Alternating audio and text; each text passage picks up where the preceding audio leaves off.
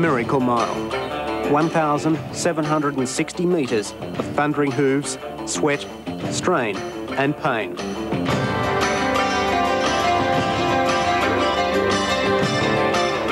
Six horses, six drivers, all striving to win one of Australasia's greatest harness races.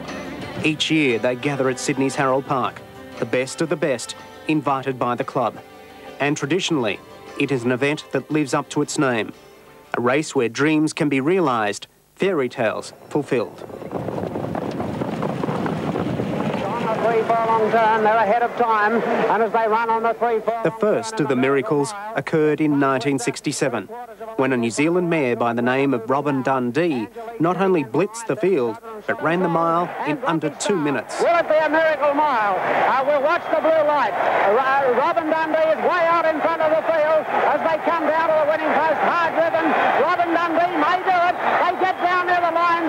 Maybe, yes, a cheer from the crowd. Robin Dundee beat the light. The blue light comes up and they're racing. Master Magician away brilliantly in the centre. He's going to try and cross Il Vicolo, but he won't. And here's Norm's daughter driven out hard from the outside, keen to lead. And at the first turn, Norm's daughter takes the lead away from Il Vicolo. Almost 30 years on, another horse, Norm's daughter, created her own piece of pacing history when she won the postponed 1995 event.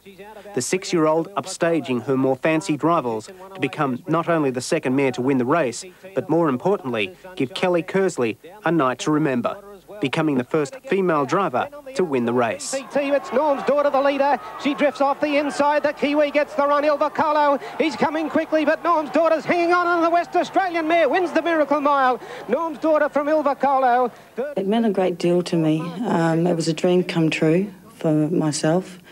Um, being involved with the harness racing family that have been very successful, it meant a lot to me to be to be able to win a big race and um, be listed in the history books.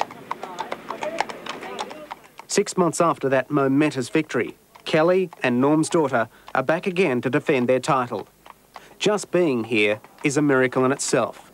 Not long after winning the big race in June, the West Australian mare was in dire straits, hospitalised after suffering from a virus.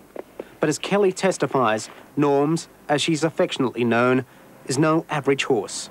When the horse got sick and, and had the virus, um, I think she lost something like five kilos, which is, you know, which is nothing for a horse. Um, you know, an average horse would, or a normal horse would have probably lost, you know, five times that amount of weight. Where she's, in my opinion, she's an iron horse. Of course, Norm's daughter isn't the only tough member of this partnership. Kelly has had to learn to be just as thick-skinned as she's made her way in what is predominantly a man's sport. For me, it was hard because when I won on a horse, it was because I was a Kersley. When I got beat on a horse, it was because I was a girl. So we've sort of got over them hurdles, and that sort of doesn't worry me a lot now.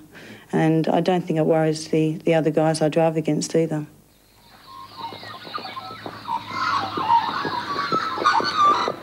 Down the New South Wales coast, another mare is preparing her assault on the big race.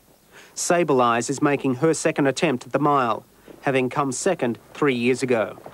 Now there's hopes she'll go one better, and in the process create some history of her own, being the first mare in foal to enter the event.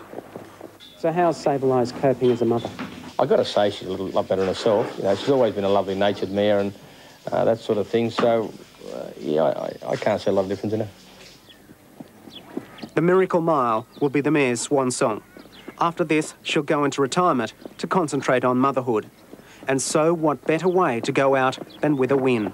A win that Brian Hancock has been striving for for so long. Brian, this is your 12th attempt at the Miracle Mile. You've made more attempts than any other. Is it like a monkey on your back that you never won it? Yeah, well, everybody says that. Yeah, it is. I suppose it is really. It's, you know, um, everyone sort of says about I've got a monkey back, I can't win a uh, derby or I can't win a Miracle Mile, and you know I think I've won Hunter Cups and Victoria Cups and all those sort of races, but uh, I just can't seem to get this one. You know, I have, I've had more chances than anybody else at it, which we're very fortunate to have horses over the years to, to compete in a Miracle Mile. So you know, really, it's um, it is a monkey me back, and a bloody big monkey at that.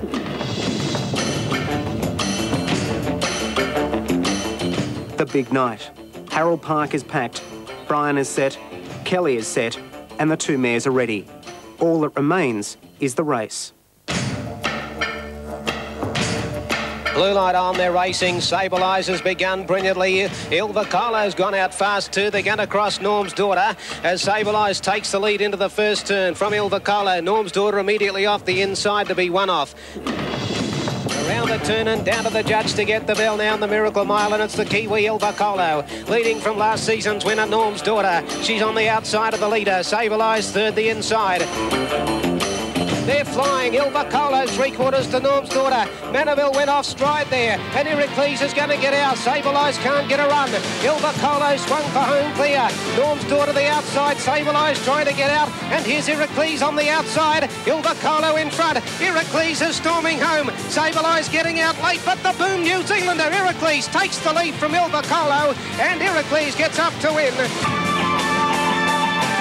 As Ricky May celebrates his miracle victory, Brian Hancock and Kelly Kersley are left in his wake. But neither are disgraced. Brian paying an emotional tribute to his charge, the mother-to-be, as she goes into retirement. You